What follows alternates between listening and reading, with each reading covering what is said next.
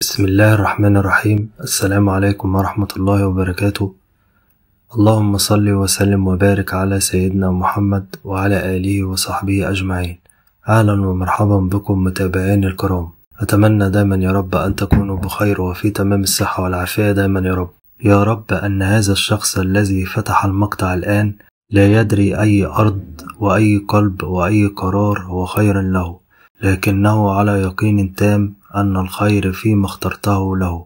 فاكفيه شر ما يكون قبل أن يكون. يا رب لا تجعل الحزن مكانا في قلبه. يا رب إن ضاقت به حال وأوسعها له برحمتك. يا رب اجعله دائما وأهله في حرزك وأمانك وضمانك.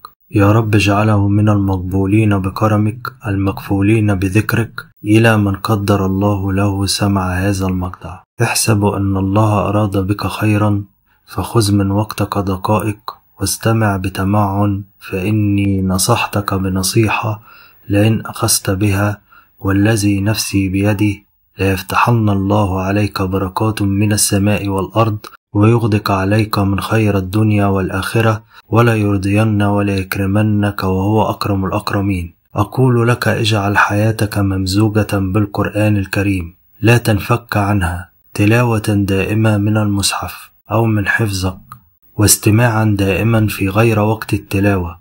خصص له وقتا واستغل فراغك وأوقاتك البينية ووقت المواصلات وفي الطرقات ووقت انشغالك بأعمال لا تحتاج إلى تركيز. والله لا تجدن بركة في وقتك وتيسيرا في كل شأنك وسعادة غامرة في صدرك. ما كنت لتجدها إلا ببركة كلام الله. تعلق بالقرآن تجد البركة في كل حياتك. فقد قال الله تعالى كتاب أنزلناه إليك مباركا ومن بركته إنه ما زاحم شيئا إلا باركه ببركته وكان أحد المفسرين يقول اشتغلنا بالقرآن فغمرتنا البركات والخيرات في الدنيا.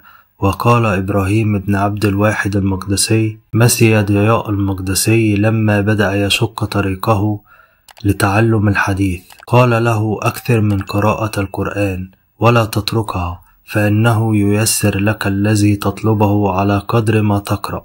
قال الضياء فرأيت ذلك وجربته كثيرا فكنت إذا قرأت كثيرا تيسر لي من سماع الحديث وكتابته الكثير وإذا لم أقرأ لم يتيسر لي.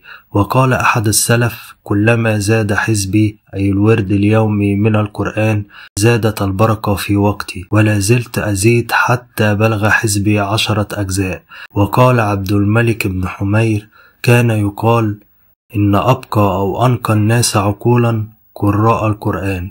وقال القرطبي من قرأ القرآن متع بعقله وإن بلغ مئة. وأما عن الوقت الذي لا تتهيأ فيه نفسك لتلاوة القرآن فاستمع له وأنصت.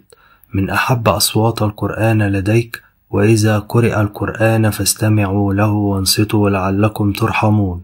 ولعل من الله واجبا وقد كان حبيبنا صلى الله عليه وسلم يحب سماع القرآن من غيره مع أنه عليه أنزل وكان يقول إني أحب أن أسمعه من غيري. وعلى قدر نصيبك من كلام الله وعلى قدر نصيبك من كلام الله تلاوة أو تعلما أو عملا أو حفظا أو استماعا يكون نصيبك من رحمة الله. وننزل من القرآن ما هو شفاء ورحمة للمؤمنين وكذلك ترشد الآية أن شفاء صدرك وزوال همك يكون بالقرآن. رب ارحمني بالقرآن واجعله لي إماما ونورا وهدى ورحمة.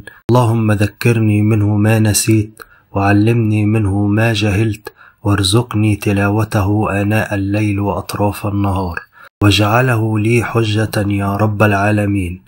اللهم اصلح لي ديني الذي هو عصمة أمري واصلح لي دنياي التي فيها معاشي واصلح لي آخرتي التي فيها معادي واجعل الحياة زيادة لي من كل خير واجعل الموت راحة لي من كل شر. اللهم آمين. أخيرا سبحانك اللهم وبحمدك أشهد أن لا إله إلا أنت أستغفرك وأتوب إليك إن أتممت الفيديو اترك أثرا طيبا تؤجر عليه سبح أو استغفر أو صلي على النبي صلى الله عليه وسلم. لا تنسوا مشاركة الفيديو أحبتي في الله لكل الأقارب والأصدقاء. وإذا كنت زائرا جديدا لهذه القناة يشرفنا أن تشترك في القناة وأن تضغط على زر الإعجاب حتى ينتشر الفيديو لكل المسلمين ونعرف عدد المسلمين. وفي الختام أسأل الله أن يوفق كل من رأى هذا الفيديو. وأن يحقق له كل ما يتمنى. والسلام عليكم ورحمة الله وبركاته.